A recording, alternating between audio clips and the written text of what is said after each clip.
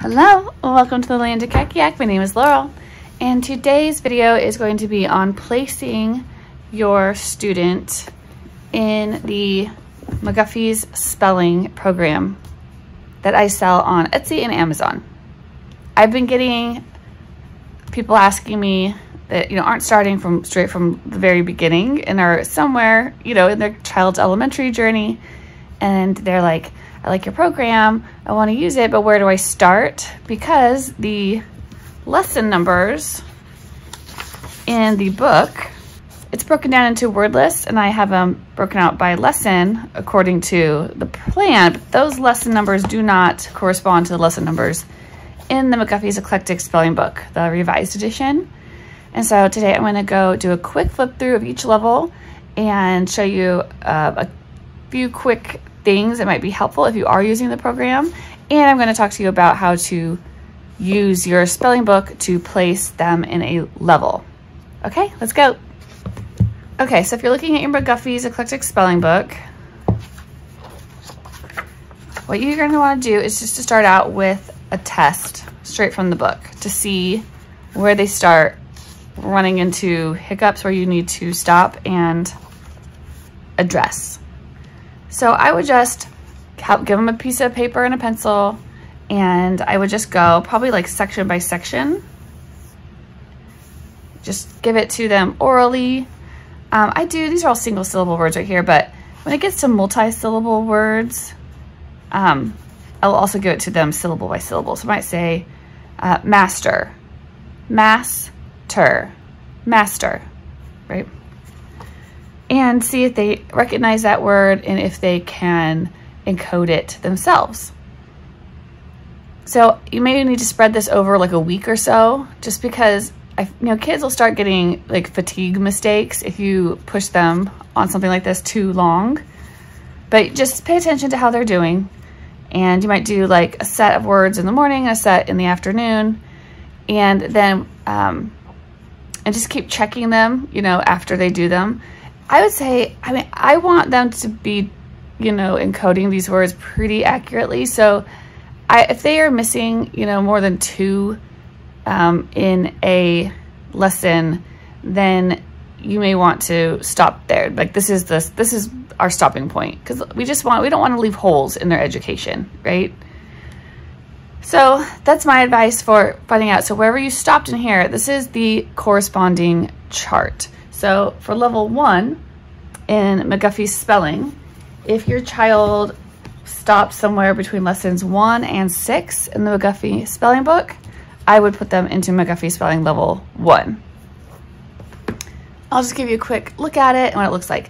This is the um, Amazon version, like the pre-printed version. You can get, see it's pretty thick, right? And, but there's all, it's also available on Etsy as a printable. And what comes with the printables is also all of the flashcards for all of the spelling words for that level. So that, I, I don't have a way of including that on Amazon. So you can only get that through the Etsy shop. I think there's also like a bonus dictation sheet you can get um, with the Etsy too. But what's in here for level one, there's gonna be a quick how to use this book, all of your word lists. There are 30, and then I gave you three review lists at the end of this level.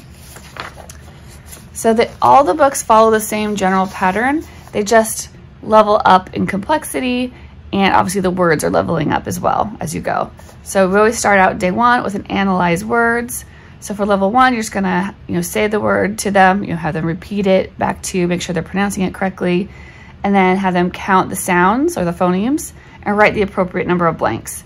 I do count like digraphs and things like uh, if it's the word loud, I say l, ow, d, that's three blanks because OU is gonna count as one phoneme, right? Same with like SH, CH, TH, those things.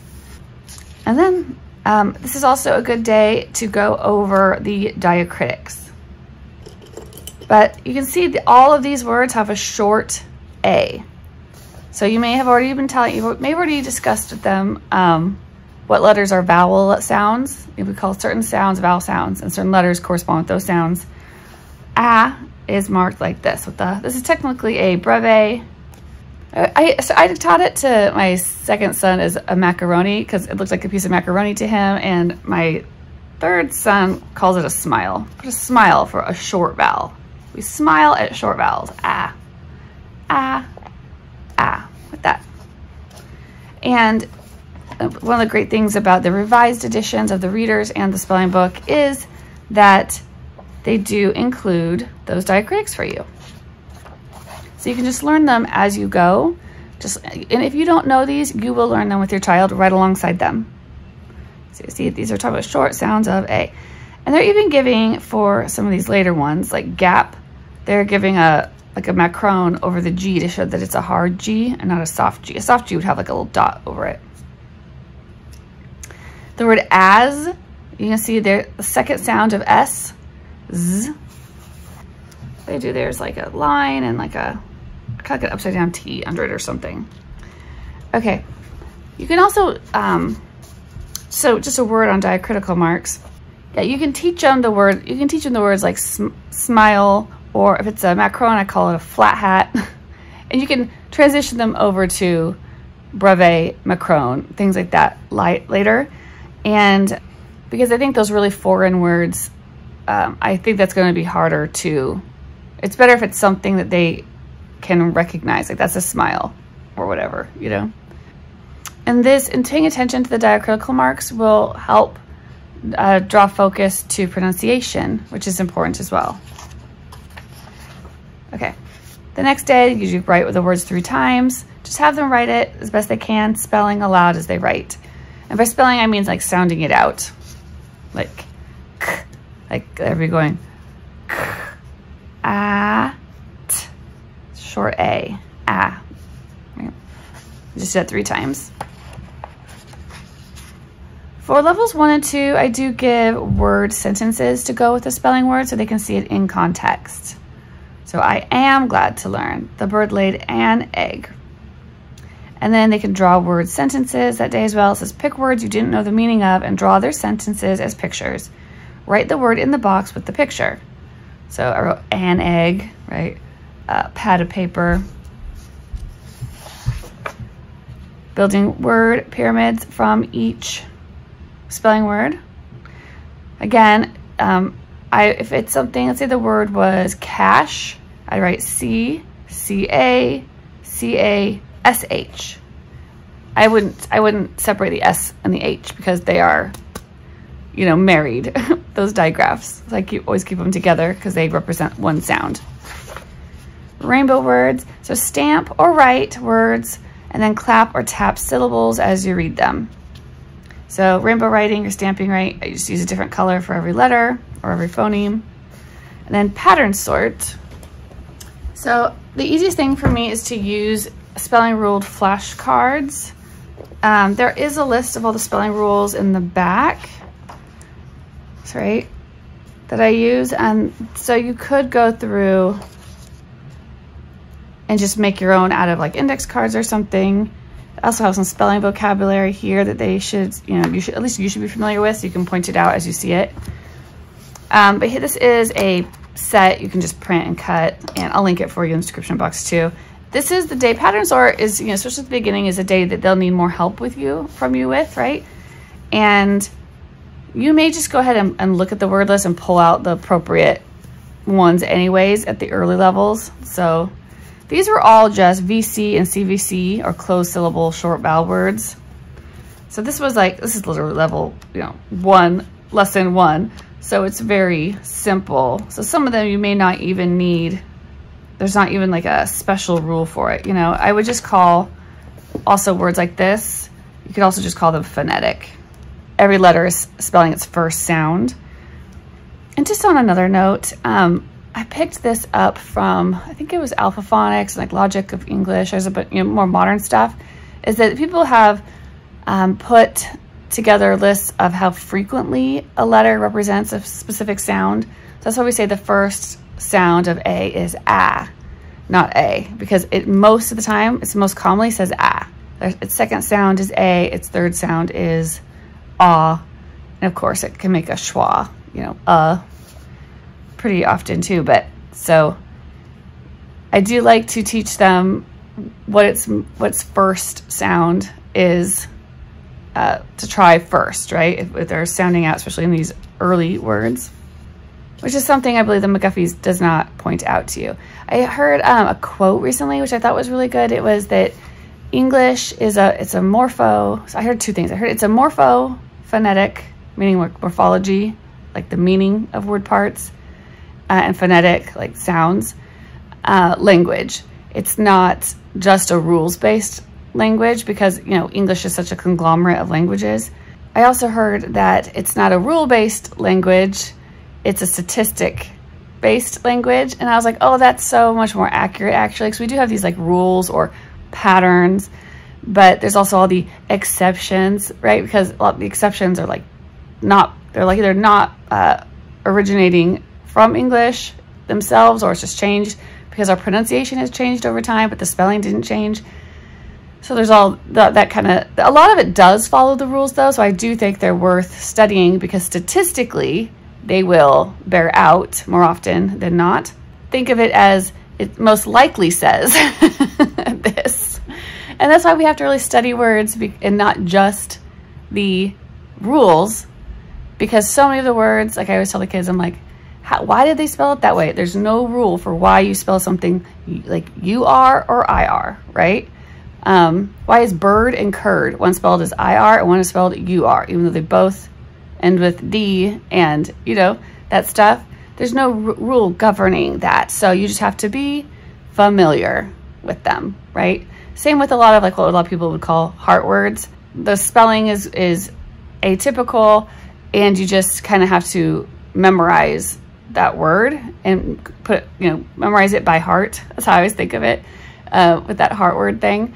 And the only way you can do that is just by being familiar with words. So you have to like study them, write with them, um, read them a lot and hear them to know how they're pronounced. So another reason why I am not anti audiobook, I was just, I was just like commenting with people. We're talking over on the Robinson curriculum um, community page, not the official page, the community page. And we've been talking about uh, listening to audiobooks uh, versus reading. And yeah, I'm not against it because especially with, I, I noticed when my oldest son started reading the G.A. Henty books, there's so much vocabulary in there that is not um, prevalent today. And, you know, they're, they're often set in European uh, settings or the Middle East or in Africa. They're all over the world, right? So there's all these words in that book that we will never hear um, just in conversation. And so I like him actually to listen to the audiobook while he reads it so he can see it, but also hear the proper pronunciation. Anyways, okay, enough about that. Back to spelling. Um, so pattern sort. So when I do the pattern sort, with, in the early years, you may just want to uh, pull out whatever rule fits and just and just give it to them and have them read it. Um, and, and like even maybe even copy down the rule or something. Um, spelling test, obviously, just dictate and then copy it or, or, and then correct it. And then you're going to explore and correct anything they've missed, write correctly three to five times, anything they missed, cover it, retest them on it, and then move on. So the lessons, the like themselves, the word list, there is a lot of review because I pulled multiple lists often from the same lesson that was in the McGuffey spelling book. So while these are short A, like CVC and VC words, I pick up with some CVC words again, right? But it's just got some different, um, some different phonemes. And then saying that one goes on forever. Then it switches to short E words. But then this, again, it starts with short E words, but now we're adding in blends. So there's like purposefully some overlaps that oftentimes in the next list, they're getting a little bit of review so they don't forget what they learned in the last list. you can always do that too. If there was a word, if they only missed like one word or something, and there was some, that's like this one word tripping them up, you can just add it into your next list. Just keep carrying it forward so they keep getting the practice with that word over and over. Okay, that's level one. Okay, if your child, if you stopped them in the McGuffey spelling book uh, with between lessons six and 15, I would say they fall into McGuffey spelling level two. Here, how to use this book. You've got your list in the front. You've got syllable division patterns, syllable division steps, syllable types, spelling rules, and there should be some spelling vocab back there too. Spelling vocabulary words. So you can see it's gonna be the same setup. You are going to, again, analyze the words. This is also a time where if they don't know the meaning of the word, right? Like I'd say rave. He loves to rave about his favorite sports team, right? Put it in like a sentence form or something. And then you're gonna have them parrot it back to you, rave. And they're like, rave, rave. Then have them break it down, rave. To me, that's only three sounds because that E is silent at the end, right? So then you're gonna, once they figure out how many sounds, they go ahead and dictate, tell them how to spell it out, and then put that silent E on the end. And I call these influencing arrows. And we're gonna start talking about the silent E rules and how it can, uh, an E can hop over one, one letter, one consonant to influence a vowel over here. And it's good, it's good that they learn that rule. It's so common. Um, so yeah, it's influenced. The reason that the A is long is because of this silent E. There's also the rule that the E, this E would need to be there because English words do not end in I, U, V, or J, right? So both of those rules are gonna be in here, which you're gonna get to later, but you can talk it through, you can introduce the idea here as you see them, right? This is a floss word. Commonly, when we have a short vowel, followed by an FLS or Z, we double the final consonant. Okay, write the words three times. So this time write it normal, write it with their opposite hand, write it with their eyes closed. Drawing word sentences. So here's uh, word sentences for those words, and then they can draw word sentences for words that they didn't understand. So it says, Pick words you didn't know the meaning of and draw their sentences as pictures. Write the word in the box with the picture, it's right there. Look them up in the dictionary and write their part of speech. It's a noun, right? Mostly nouns, verbs, and adjectives, right? And this was the word tying, and we just drew, actually, has to do with these points, right? So there's the tying on like your forks, but also on forked horns. So they don't have to do, they don't have to completely fill this out. It's just for the ones that it would benefit them pattern sort. This is how I like to do it, was with highlighters. Have them write their words and then just go through the rules. It depends on how comfortable you are with them. Um, eventually I have, he has the whole stack and he's just going through every single rule and reading every single rule on this day every week and checking to see if these words fall into these spelling patterns. And if they do, you know, we write, oh, yeah, this one's spelled Rule 17. These were floss words, right? So right, Rule 17, I give it a code, and I just code all the ones that fell into that pattern. And then you just keep, I just have him go all the way through. And it's a good review just every week. He's reading those every single week. But you may want to do less in the earlier, you know, you're, you're already seeing the word list and you can pull that like on day one, you can pull which one you think it's gonna be ahead of time if you want and put it in their pile. Syllable division, so you write the words, mark vowel sounds with diacritics, right? We're marking the, so I'm slashing the silence. These were all uh, long and these were all short vowels. I just made a note that they were all one syllable words. So it said to highlight or trace in different colors that I meant the syllables. So since they were all one syllable, I they just got one color. But if they were if it was like raving, ing would be another syllable, and I would have underlined that in a different color. Okay, word pyramids. So just have them sounded out. Um, so telt, T, te, T-E, tell, T-E-L-L. And I don't split up, you know, things that are just one sound, They're just doubled uh, consonants or digraphs or trigraphs or something like that, vowel teams. I, I don't give it a, a new line, I keep it together and spelling test, explore and correct. Oh, I was just gonna show you really quick the dictionary, because sometimes I get asked what dictionary we use. Um, my elementary school students have used this one, Merriam-Webster's Elementary Dictionary. I'll, I'll, link it for you in the description box. Like I'll link everything you see today. And I do, it's been, it's worked well for us. I like that there's like color pictures in there and it's a little bit bigger font. And they've got the ABCs here to help them find things in alphabetical order. So yeah, we like, we like this one. If your student came to a stopping point in lessons 15 through 22, you will be in spelling level three. This is one my, um, I'm currently working through this with my, my middle son and he really likes it. He's done it for a while now, so he knows what's coming up. Oh, and I forgot to mention, so I used to just, um, you know, print my own Etsy ones out for him to do, which works great. Sometimes you don't want extra notebooks and things. So we are using his unofficial RC notebook level three. And this is what a spelling or vocabulary page looks like. So you can do things for the words in their own boxes and there's lines for obviously days that we write. But I, actually, so what I've been doing this year with him is I just got a physical copy. And just as we do our activities, I have just been filling this out like my own key because then I'll just have it filled out for when my younger son comes along.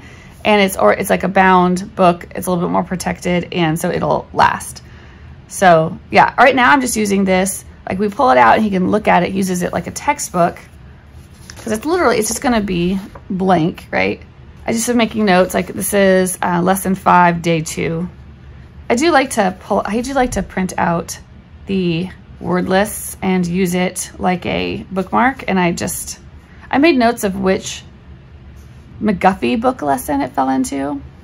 So like right now we are on uh, lesson five from McGuffey spelling, level three, but it's, those words are found in McGuffey lesson 16 in the book. We're actually in here, the various sounds of you. I, I just work along, we just you know, do this together or whatever, especially when we're doing the analyze words, I have to sit there and like dictate the words to him and everything anyways. So like while he's doing that, while I were doing that, he's just doing his work in here. I hope you can see what that looks like. So if you would like rather buy the hard copy version on Amazon and make a, which I, I think it's like 20 bucks, um, it's expensive to print stuff. But if you want to make that like a key that you work along with or kind of use it more like a textbook, you can do it in your, in just a notebook. So just so you saw like this, he did, this was supposed to be a day that he was supposed to do the pyramids. He did it more like stair steps, which is fine, right? I think there are 12 rectangles in this notebook. Um, here he was dividing the syllables using the syllable division steps that I give. This was a day where we were pattern sorting, right? So he wrote his words out, he flipped through all of his rule flashcards, and then he made a key, right, and color coded them.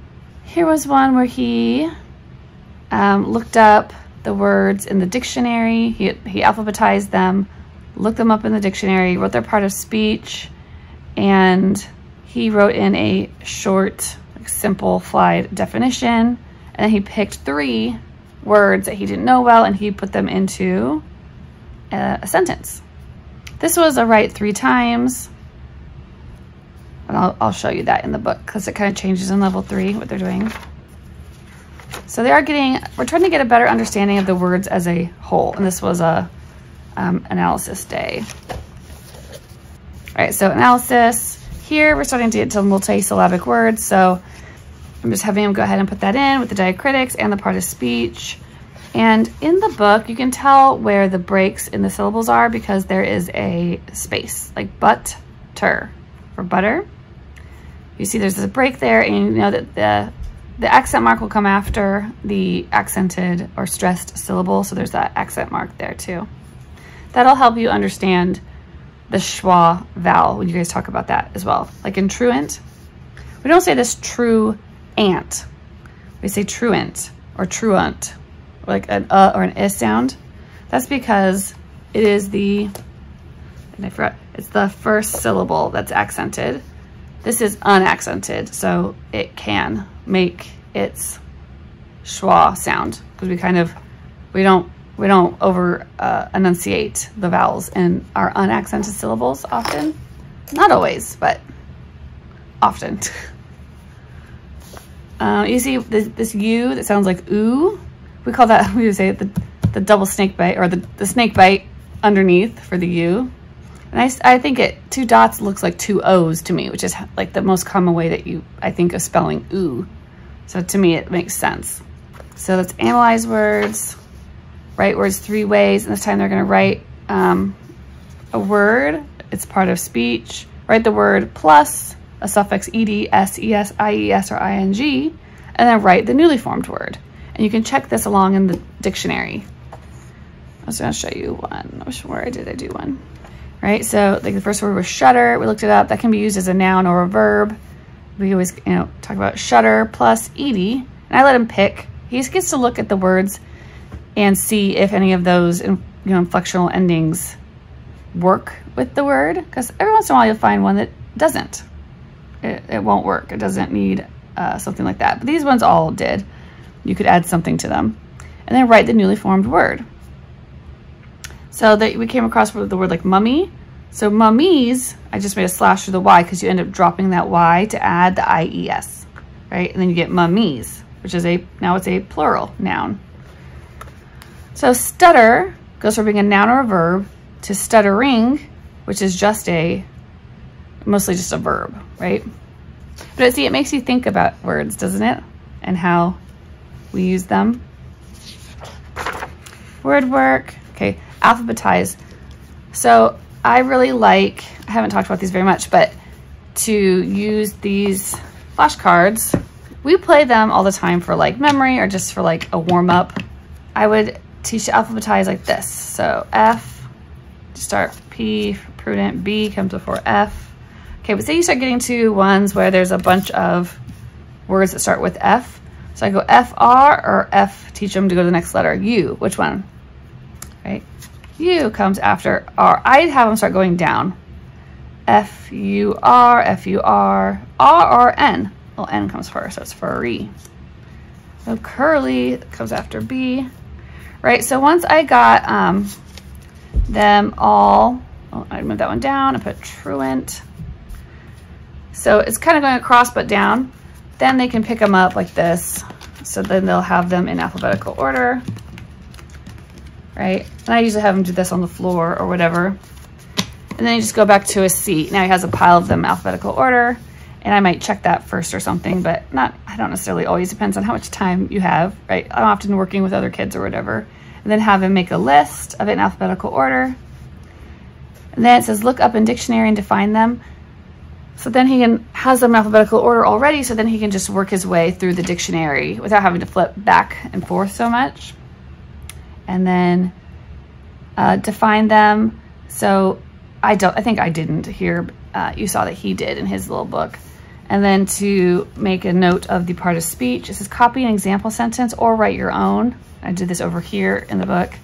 So a lot of times there's an example sentence in the dictionary itself or an example phrase that they can extrapolate into their own sentence. Um, but I just tell him he doesn't have to do all of them. He can just pick, you know, one to three if he didn't know the meaning of it. So he chose murmur, murmured, and turban. Just because murmur and was one of the one, it's that was the actual word, but he didn't know what it meant. So I'll actually let him use it twice with a derivation. Pattern sort, Nothing different there except that we are now underlining the diphthongs and digraphs, slashing silent letters, marking accented syllables, all information that they can copy straight out of this, or they can try to do it on their own and then check their work.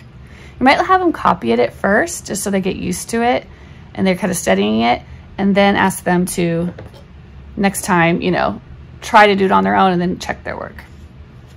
Circle any affixes, square any base words. And then here's syllable division rules, right? This, I just walk you through rules here. And then word pyramids are the same. Test is the same. Let's say you like everything except you don't really like, let's say you're like, I don't think we need to do syllable division. let's say you just, or, or that's just, you, you'd like to add that on later or something like, um, instead on that day, just play a game of memory with, because these all, this comes with like two, I can't remember if I printed, if I just printed them out twice or if I gave you two of each. I feel like I've done both on different levels. but make sure you have two of each card. And then you can always just play memory with these games on that day instead or spelling word hangman, which I like to play a lot too. Okay, if your child came to a stopping point between lessons 23 and 32, I would put them in McGuffey spelling level four. How to, how to use this book, right? Here's your list. Um, here's the rest of your list, and then there's a read me section. So this is some stuff that you and your kids want to make sure that you've read and understand, right? There's some suffix spelling guidelines here. There's some affix samples and meanings here. Defines prefixes and suffix for you here. Okay, analyze words, count sounds and write blanks, fill in blanks with phonogram dictated by teacher. Again, you can talk, uh, this is a good time to make sure that they've got their diacritical marks uh, down and that they, you give them, make sure they have a brief understanding of each word in the part of speech. It's gonna come up later and it'll be easier if you've just discussed it on day one. Write words three ways. You're gonna write uh, the word plus the part or parts of speech right here, right? Your second line, you're going to write a prefix plus a word or a word plus a suffix. It says choose from the affix samples on the README page that when we showed you earlier.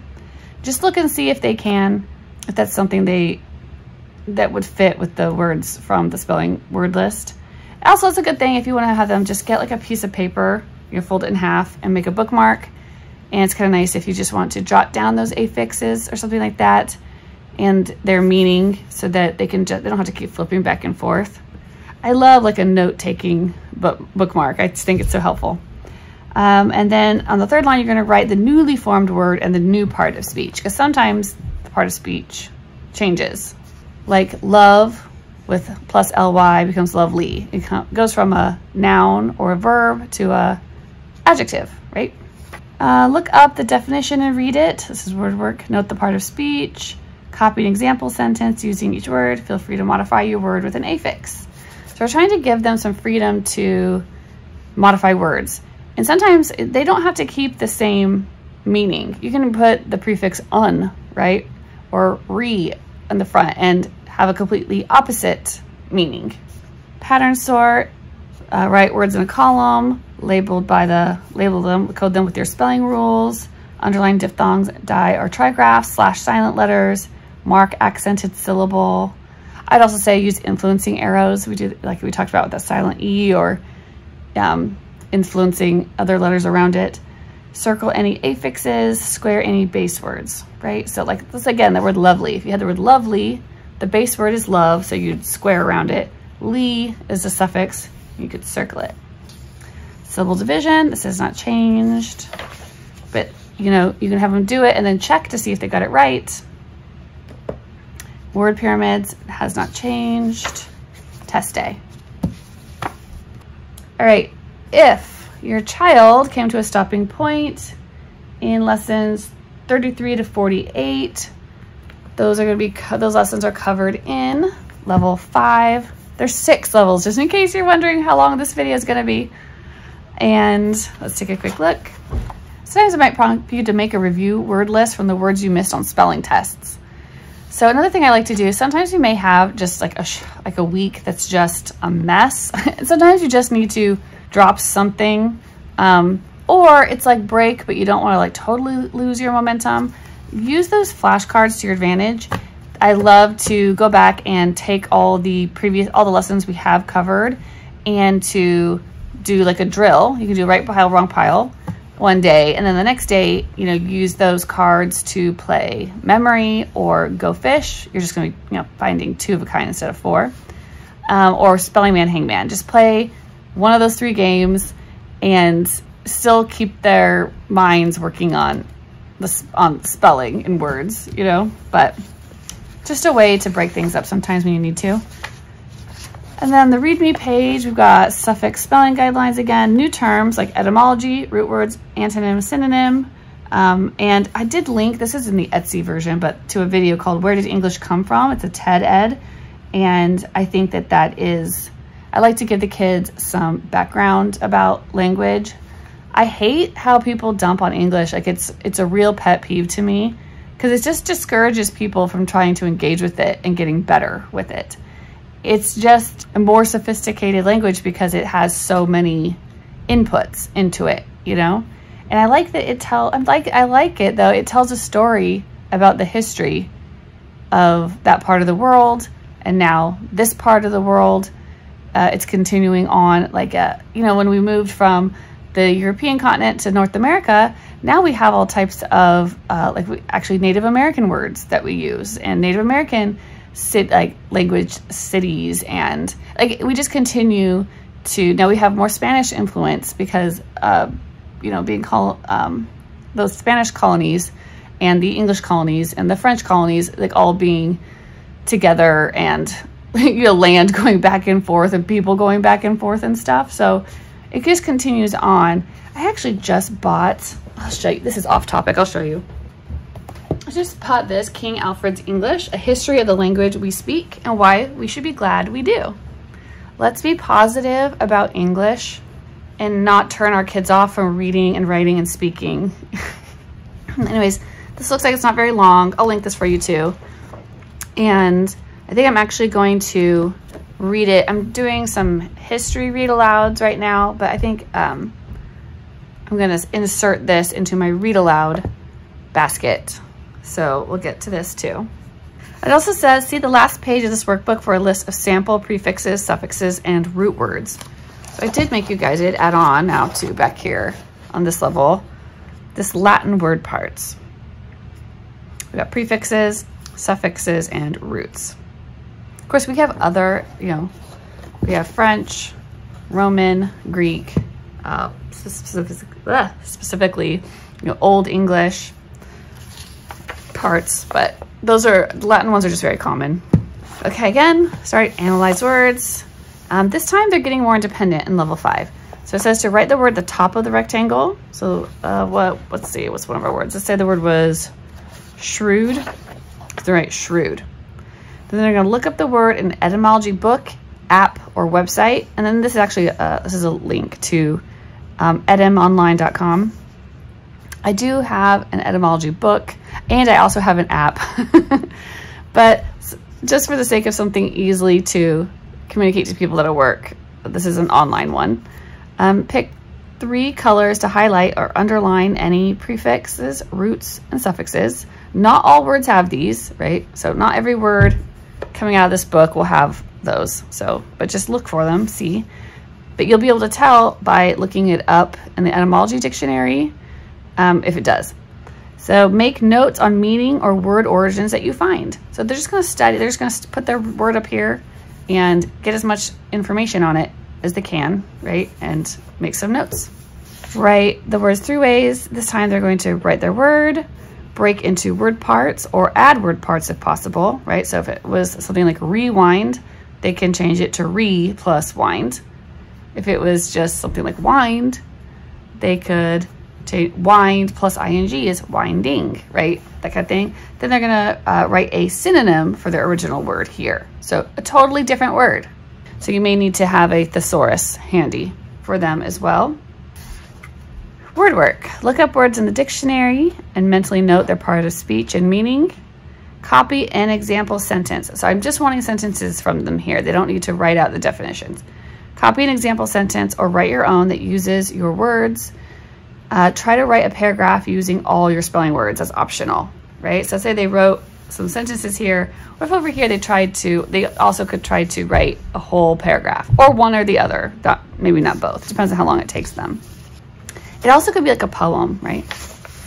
Uh, pattern sort, again, right? So sort each word into spelling rules, so write their spelling words here, and on this side, we're gonna be flipping through, they're gonna be reading Rule 13, is it a contraction? No. Is it abbreviation? No. Is there TICI and SI that spell sh at the beginning of any syllable after the first, such as tension, action, and suspicion? right? Yes or no. If there it is, then you write that in, co code it with a highlighter, and then code each word. And you'll also find that some words have fallen to more than one pattern. So there may be multiple little colors next to them. Okay, syllable division, same thing. Word pyramids, same thing. Spelling test, explore and correct, same thing. Okay, let's talk about the last level. Level six is for if your child stops somewhere between lessons 49 and 64. So this is the last, this is the last level. And something else I want to say about this level is, so my spelling lists only get pulled up to lesson 64, which is here. And look at how much more of the book there is. I also marked, okay, it went over affixes here in the book. And, and just so you know, some, there are sometimes from time to time dictation exercises in there that you can do with them that, that week instead of, but that you'd have to be following along in here to see them.